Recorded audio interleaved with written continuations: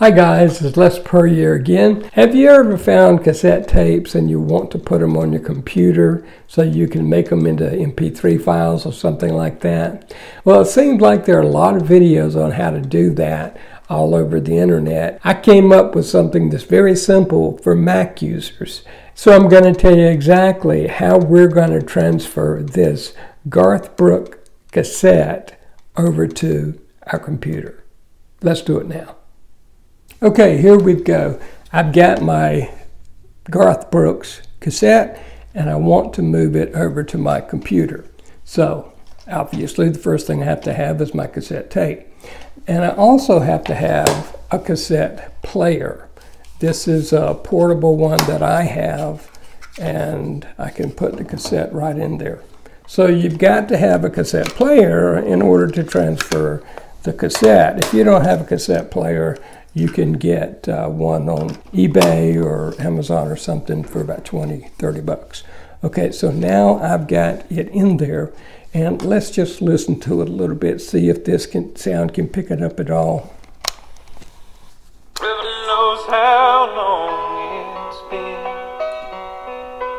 since I so out of place, I fit in. Debbie and Charlie said they. Okay, that sounds pretty good. So I've got my cassette tape and I've got my cassette.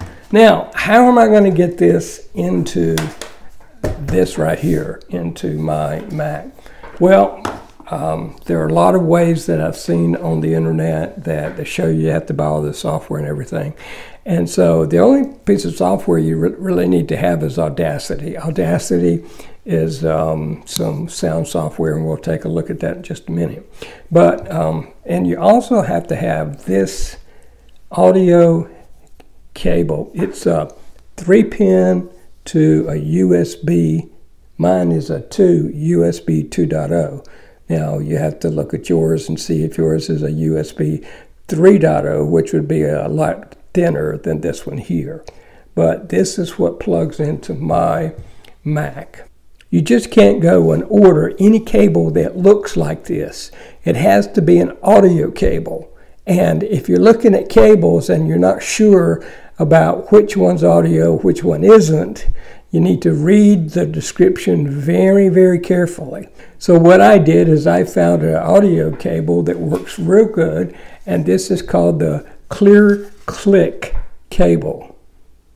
And it's an audio cable, and this is, these are my and these are my uh, instructions. It doesn't have a whole lot of instruction with it because there's not a whole lot to do with it. It does come with the CD, but what the CD has on it is uh, the Audacity software, which um, if you're doing any audio work at all, you probably already have that. Or you can download Audacity for free. All we're going to do is this.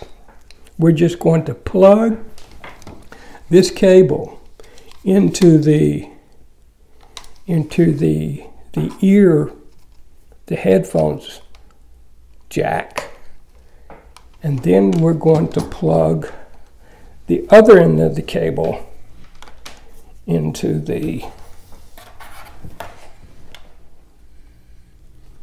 USB port.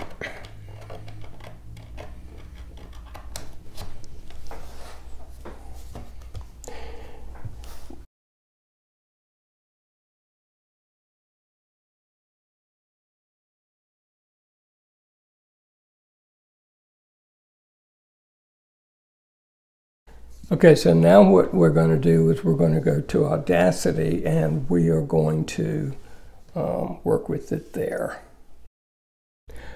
Okay, so the first thing that we're going to do is we're going to go and get Audacity. And so we're going to type in Audacity. And then um, we'll see the Audacity link and we'll go to that and that will show you the free software that you can get. You can download Audacity and then you can manipulate your software. Okay, so now that we've installed Audacity, we are going to go ahead and open it up. We need to make sure that we've got the microphone correct because the microphone is going to be a USB PNP audio device. So don't use the built-in microphone. Now we turn on our recorder and then it starts to play and we're not going to be able to hear it while it plays. We can see the audio signals, but then we're just going to play a little bit and I'm just going to cut off a little bit of the end just so that we'll have the end of it. Okay, so now we're going to listen to the audio that we recorded and see if it sounds like we want it to sound. Burned my hand, I cut my face. Heaven knows how long it's been since I felt so out of place, wondering if I fit in. Said they'd be here by. Okay, so that sounds pretty good. So next we need to go and we want to save it. So we'll go over and we'll save it as um, uh, a name, uh, Garth Brooks or Garth Tape or something like that. Then we save it. Now the next thing we do is we want to export it. So we want to export it as a MP3 file. So that's what we're going to do now, and we're exporting it. So now we can go back on to the desktop and we pull up the MP3 file and let's see what we have on that one. Burned my hand, I cut my face. Heaven knows how long it's been since I felt so out of place, wondering if I fit in. Okay, that's how you record your cassette over to your Mac. And it's not that hard to do. All you need to do is get that Audacity and a cassette player and the cable that I told you about, and uh, then you'll be able to do it. I will put a description of the cable that you can order to do this down into the description. Thanks a lot, and I hope you enjoyed the video.